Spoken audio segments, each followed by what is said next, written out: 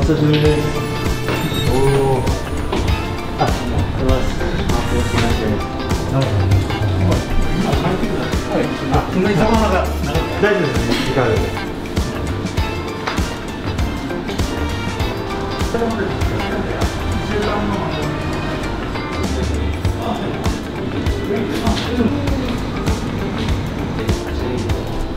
れはね、あの大磯ロングウィーク。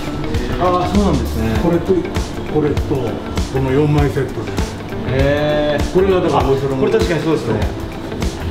大磯ロングウィークに、スターができた時に、四枚が毎週春夏秋。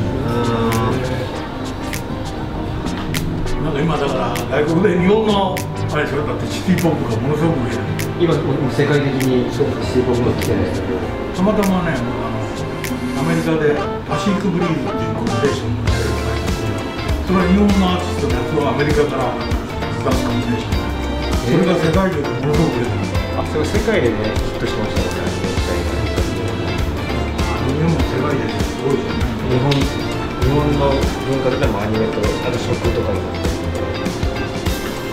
そこに自分たちで音楽をこう入れてってやったり5年前からと LDH 行きたいっていうのがあるんででそれでいろいろ考えてたんですけどそのコロナで全部行けなくなっちゃった場所がってるんですけどでももうすでに考えてます前うちのさん西城秀樹のシングル版書いたんですよニューヨークガールズで、えー、それなんかジョージ・デュークが曲作ってたへえー、嬉しい。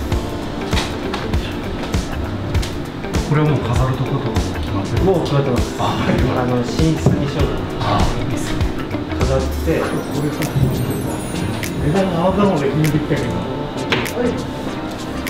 あの入るってギャラリーが入ってあはい。あそうか、そこが自分のところでやってたいと思うんですよ。